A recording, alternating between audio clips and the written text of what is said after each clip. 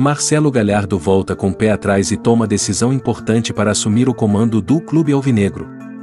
Se aprova Galhardo como novo treinador do Corinthians, se inscreva agora mesmo no canal e deixe seu like no vídeo. No River Plate ele conquistou todos os títulos possíveis, com exceção do Mundial de Clubes e se tornou uma das maiores lendas da história do time. Para 2023, o técnico já anunciou que seu destino será outro, já que recusou a proposta dos milionários para renovar o seu contrato e ficará livre no mercado a partir de dezembro, quando seu contrato irá expirar oficialmente.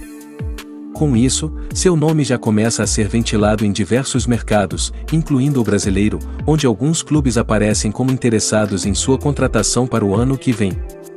O argentino pediu um salário de 5 milhões de reais mensais para trabalhar no Brasil, algo que obviamente foi prontamente descartado por Corinthians e Atlético Mineiro, que decidiram focar em outros nomes.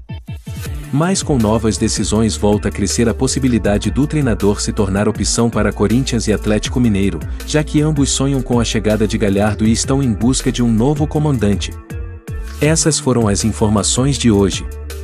Não se esqueça de deixar seu gostei no vídeo, e também de se inscrever aqui no canal para mais conteúdos como esse. Agora vou deixar dois vídeos de recomendação para você continuar assistindo as últimas novidades do Corinthians, basta você escolher. Até breve pessoal!